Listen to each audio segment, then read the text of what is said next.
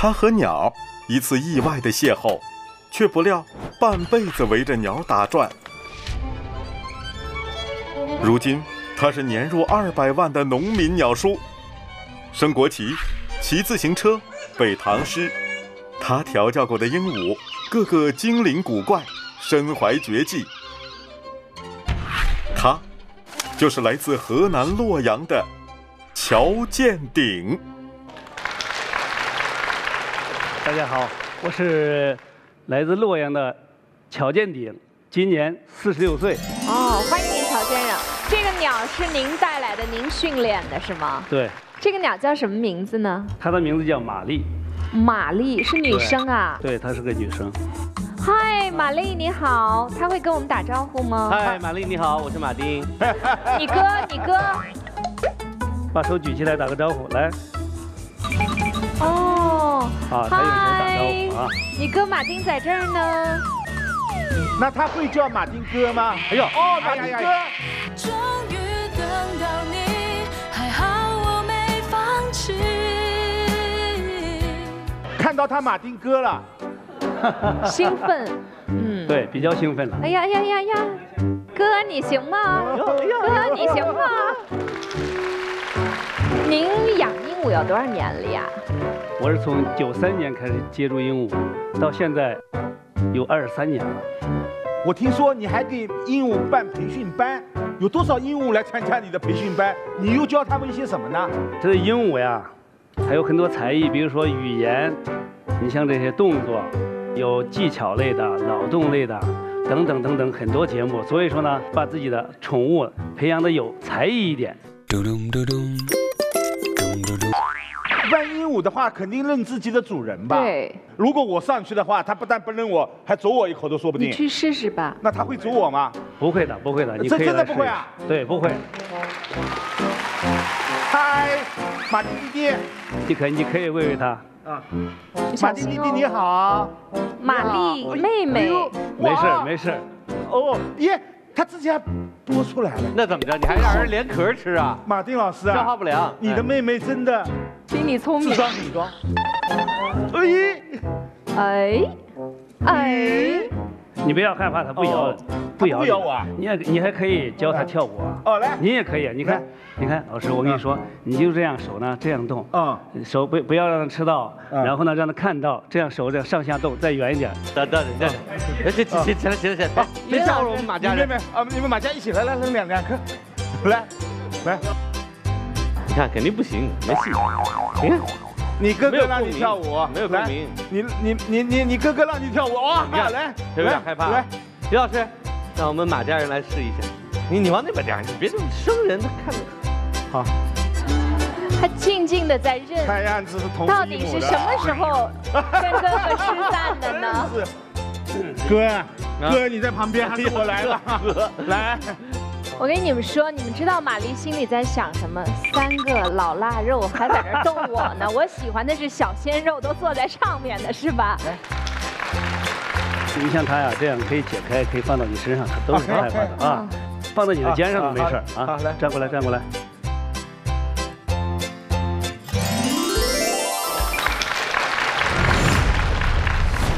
看来这和鹦鹉近距离接触没那么简单呀，更别提跟他一块跳舞了。乔建鼎的功夫还真是不一般。说起乔建鼎，在河南那儿那可是鼎鼎有名的，人送称号“鸟叔”。鸟叔家里绝对是鸟儿的乐园了，有几百只鸟呢，什么八哥、鹩哥、画眉、黄雀、鹦鹉，是你唱一句我鸣三声啊，热闹极了。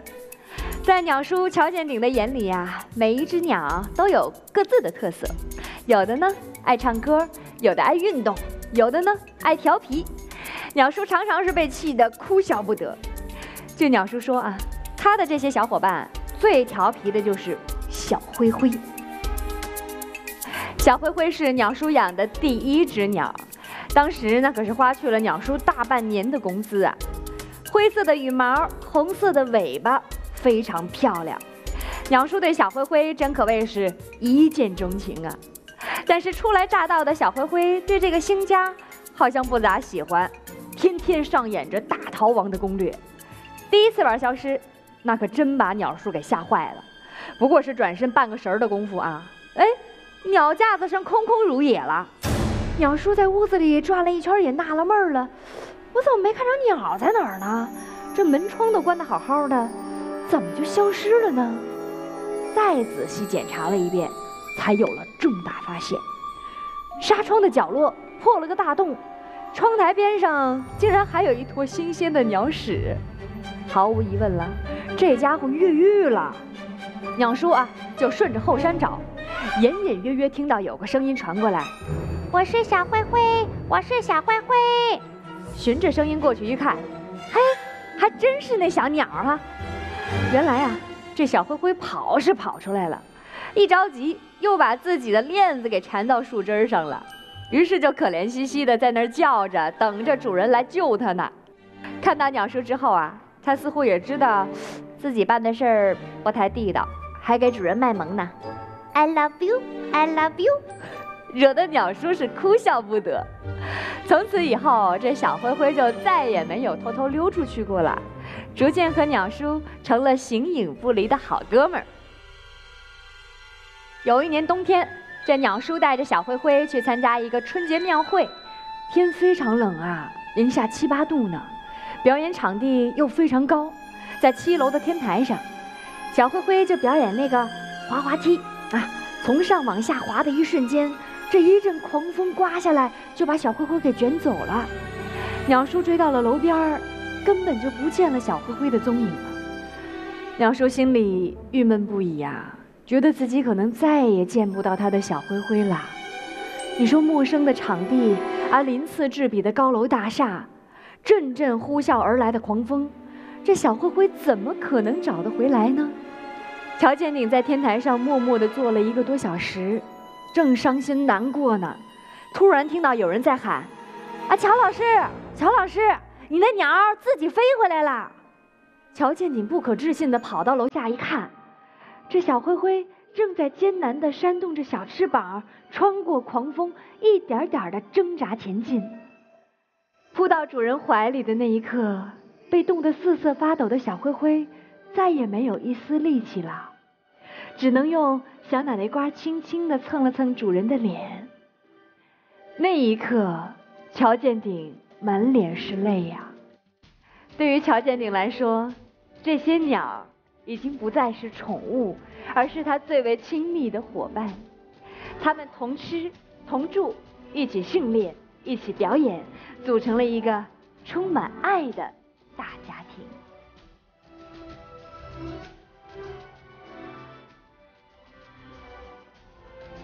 那么今天，小灰灰和他的伙伴们会给我们带来怎样的惊喜和欢乐呢？一起拭目以待。我们的古人在宋代出现了那个成语“鹦鹉学舌”，对我运动机能是很好的。你像。这只灰鹦鹉呢，它是世界上语言天资最聪明的鹦鹉。还没有断奶的时候，就学会简单的“你好，你好”，语言天赋非常的好。它在美国呢，呃，有一家鹦鹉研究机构啊，研究这些鹦鹉呢，它相当于七岁孩子的智商。哇，那么高？那七岁能够跟我们很自如的对话了？对我女儿才三岁半，已经可以开始背诗了。她能背吗？你这个题太难了。鹦鹉学说话已经不容易，还背诗，他会背，会背，他会背。你看，他还要站在我的手上啊，说，来给大家问好，你好，说出来了，来说句英语，I love you。哇哇哇！我是鹦鹉啊。会说话了。说的我会说话了啊。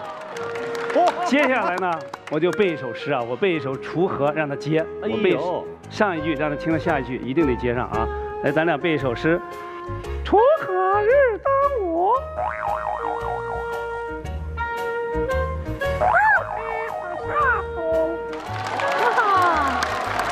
听着第三句啊，谁知盘中餐？怎么样？太厉害了！像这样一首诗，你要教他多少时间，他才可以学会啊？至少得半年以上。然后呢，还得让他给我能互动，他能听懂我的意思。您为什么他能对诗呢？他就是努力的听着你的声音，他知道你说的什么内容，然后他接着往下对。这样的鸟呢很少，有的有的鸟也不常见的。锄禾日当午，你看我教的时候用的都是女声，这样呢教出来的鸟呢说话声音清晰，嗓音甜美。哦哦，我这个明白讲究啊。哎，也就是说教什么他就会。你要是跟他说干啥呢，他也说干啥呢。那肯定是。哎，我们有一个朋友家里头特别好玩，他们家有一老阿姨，特别害怕客人在她家吃饭。每一次来客人，她说：“你刚刚吃过饭到我家的吧？”结果这鹦鹉就学会了，每回我去，她说：“你刚刚吃过饭到我家吧？”我说：“我吃过了。”我知道玛丽是很厉害的，上过很多大节目，对吗？对，她是一个老演员。据说她能升旗，是吗？对，来来来，来看一看啊！升起来。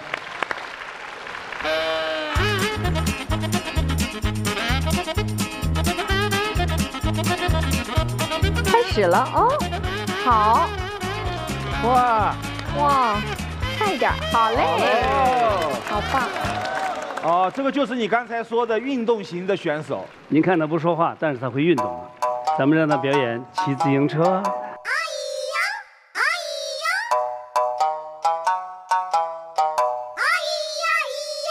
哦，啊，哇，棒！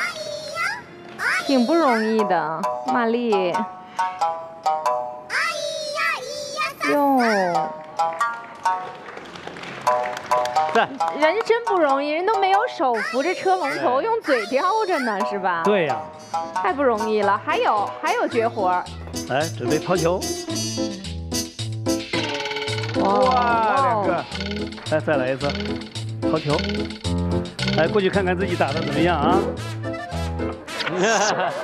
哟，看看这，这就叫什么呀？打不倒我就把你推倒。还有一个还有一个呢你看看。哎呦，好，啊全中，不错。我刚才感觉他骑自行车特别不容易，因为那个是需要平衡的。嗯那他的平衡是怎么掌握的呢？他是用嘴，用嘴控制平衡。对对对，因为呢，鹦鹉呢，它是属于攀援类的鸟，非常善于在树林里边儿飞梭盘旋。它怎么盘旋呢？它就是通过嘴，它在这个树枝上，它伸着脖子，一个嘴呢勾入那个树枝，它就可以完全的把自己的两只爪子松开，就可以支撑住它全身的重量。那也就说明他的这一个嘴是非常尖、非常的犀利的。对对，非常的犀利的。我靠小灰灰行吗？嗯，你靠小灰可以呀、哎，来来来，让他学一个简单的，学母鸡叫它会叫吗？有点太过分了，让鸟学鸟叫，就学鸡叫，是不是？学鸡叫，母鸡啊生蛋的声音啊。还可以。那咱们试一试，来听好了啊，跟着我学，不要说话了。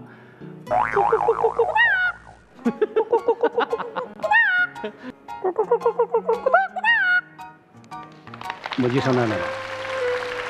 再来一个，我觉得鸟和鸡至少都还是有翅膀的、有毛的。来一个难点的吧。来个狗叫，你这个才难呢！让鸟学狗叫，行吗？鸟怎么学狗叫呢？按道理它想学什么都能学。对，只要它跟着我学就可以。来，你听好了啊，学狗叫，不要说话。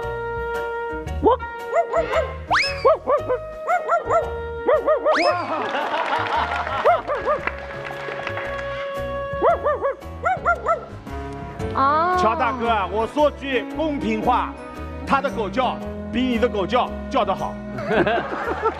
青出于蓝胜于蓝。不，他学得像，真的。我听说会说话的鹦鹉其实价格是很高的。呃，你能不能透露一点行情和信息？我不知道我买不买得起。像这样的，严格来讲，鹦鹉是不能卖的，哦，它是国家二级保护鸟类。哦，那我怎么办呢？那你就只有看我玩了呗。我能冒昧的问一下，像您这样，呃，